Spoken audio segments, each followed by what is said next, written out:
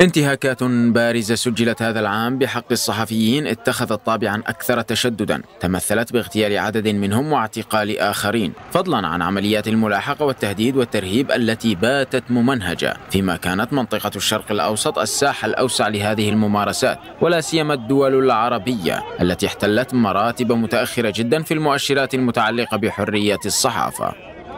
هذا الواقع المتردي دفع الأمين العام للأمم المتحدة أنطونيو غوتيرش للقول إن الصحفيين والعاملين في مجال الإعلام باتوا يواجهون تسييسا متزايدا لعملهم وتهديدات تزداد يوما بعد آخر تخص حريتهم في أداء وظائفهم بيسر وذلك في اليوم العالمي لحرية الصحافة. في حين أفادت المديرة العامة لليونسكو أودري أوزولاي بالمناسبة ذاتها أن أكثر من خمسة أشخاص من أصل ستة في العالم يعيشون في بلد سجل تراجعا على صعيد حرية الصحافة خلال السنوات الخمس الماضية.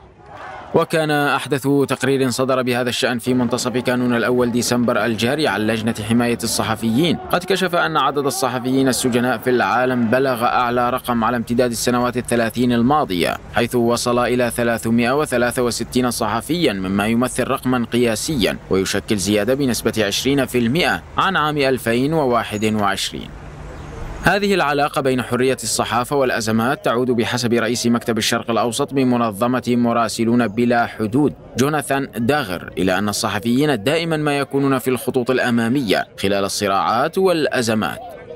هذا الواقع المتردي لحرية الصحافة دفع المراقبين للقلق حول ما قد يحمله عام 2023 لا سيما وأن المسار انحداري خلال السنوات الماضية فيما المؤشرات السياسية والاقتصادية تلوح بالمزيد من الأزمات على صعيد العالم.